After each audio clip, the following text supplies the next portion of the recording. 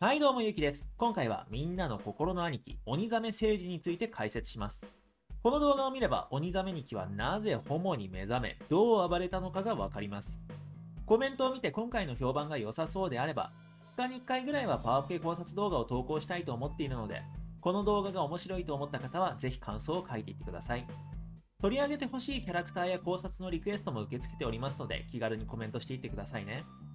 このチャンネルはパワーポケの魅力を世の中に広めること、そこからパワーポケの新作やリメイクが発売されることを目的として活動しています。パワポケ好きな方はぜひチャンネル登録と高評価をお願いします。それでは本編に行きましょう。まずは初登場作品であるパワーポケ5、モグラーズのコーチとして登場します。登場当時は39歳で、生え際がちょっと気になり始めたお年頃。古澤さんからは筋力コーチとして紹介されていたガチムチマッチョではありましたが、まだホモには目覚めてはいなかったと思われます。っていうのも最初はほんと普通のコーチとして鍛えてくれて特に意味深な雰囲気があんまなかったんですよ。ですが5の主人公の筋肉の成長を見るうちにその様子が変化。次第に5種を怪しい目で見て仲良しのボンダ君にも嫉妬するようになり本格的にホモとして目覚めていくようになります。5種の筋肉が完成された時には持ち前の巨大な大砲から出る情熱を抑えられなくなりついには5種の中に砲弾を発射合体エンドを迎えることになります。アルバムでは服装を着替えて海外で活躍する姿も見られ彼が彼らしく生きられるようになった姿を見て微笑ましいな良かったなという気持ちになった人も多いのではないでしょうか。鬼ザメさんをみんなの兄貴に覚醒させてくれた5種には感謝しかありません。本当5種オツですね次はパワーポケ8ホッパーズのコーチとして登場します。今回は初めからホモらしい雰囲気があって、まあ、高級プロテインを自腹で主人公におごりながらいい男に育てていったりします。8の主人公はもともと身体能力が高かったこともあり、徐々に兄貴が望む肉体へと成長。育ったつぼみは収穫の時期を迎え、二人きりになったところで無事に食べられてしまいます。その後も2人の関係は続いたようで、アルバムでは頬を絡めて幸せそうな表情をする彼の姿が見られました。嬉しいですね。ちなみにパワーポケ8には寿命ゲージが存在して、そのゲージが低い状態で合体すると、専用のイベントが発生。兄貴の巨大な大砲を受けて主人公の穴は耐えきれず、そのまま帰らぬ人となってしまいます。いや、やばいでしょ、普通に考えて。ホモでさ、やって死ぬってやばくない？普通にやばいんですよね。え人生を終わらせるこんな虚婚皆さんもぜひ一度見てみたいと思いませんか？まあ見た後の保証はできませんけどね。最後の登場はパワーポケ11ナマーズのコーチとして登場した彼はシリーズ最後の登場ということもあってここで大暴れ。主人公の肉体を露骨に狙っており最初から怪しい視線や行動が見られます。でこうして比べてみるとパワーポケ5の初期ってホモっぽい言動とかこれと比べるとあんまないんですよ。なんで途中からホモに目覚めた説が濃厚だと考えられるんじゃないかなって考えたんですけど皆さんはどう思いますか？鬼ザメニキは最初からホモだったのか？それとも5の主人公と関わるうちにホモになったのか？皆さんの意見よかったらコメント欄で教えてください。まあでも、そんな粉であっさり掘られますよね。まあ、サクッといきましたね。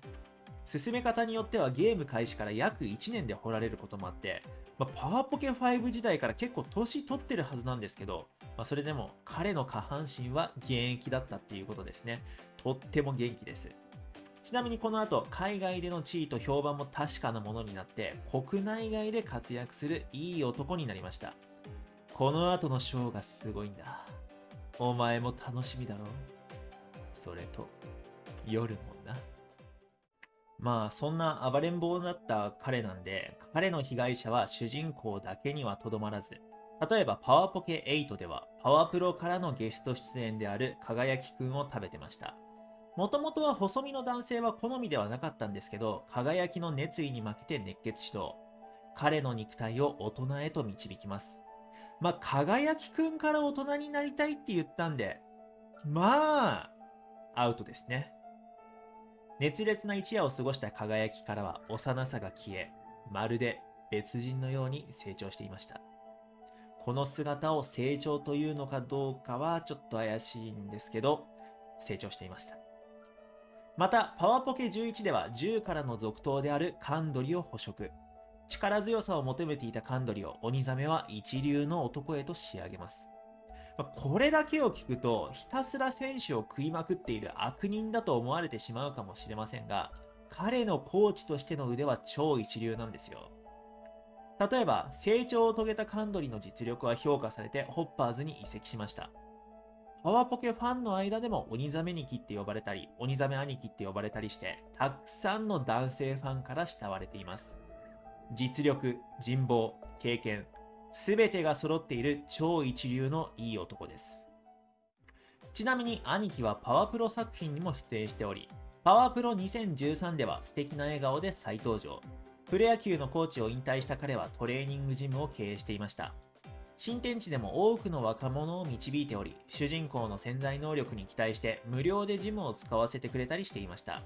まあ、ただ、ただ、彼の手腕というか、まあ、手というか、下というか、下半身というか、大砲というか、彼のあれも業界では知れ渡っており、いい噂も悪い噂もどっちも広がっていました。とても優秀なコーチということも広まっていたし、まあ、とても悪い噂の方も広がっていたんですね。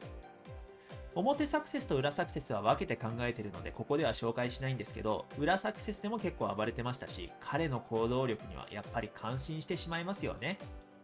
シリーズを通して愛された鬼ザメニキ。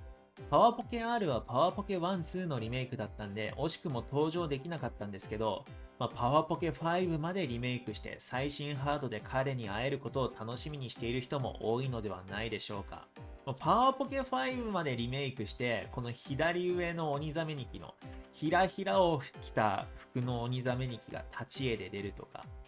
まあ、パワーポケ8の鬼ザメニキのあの主人公を突き倒してしまうというか、突き殺してしまうというか、あのイベントがもうちょっとなんか描写リアルだったりとか、そういうイベントとかがあったら僕たちめちゃくちゃ嬉しいですよね。というか、嬉しいかどうかは怪しいけど、見てみたいですよね。僕は見てみたいです。怖いもの見たさです。ということで、今回は鬼ザメさんについて解説してみましたが、いかがだったでしょうか？感想やご意見がある方はぜひ気軽にコメントください。このチャンネルでは毎日パワポケ考察や解説、パワポケイベント集を投稿しています。パワーポケの魅力を世の中に広める、そしてパワーポケ新作や続編が発売されるように今後も活動していきますので、パワーポケ好きな方はぜひチャンネル登録と高評価をお願いします。